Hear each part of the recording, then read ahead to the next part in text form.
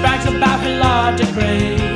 We used to chat about the lottery. Don't you know she used to present those novelty checks? And we can talk about her history. She won't shut up about.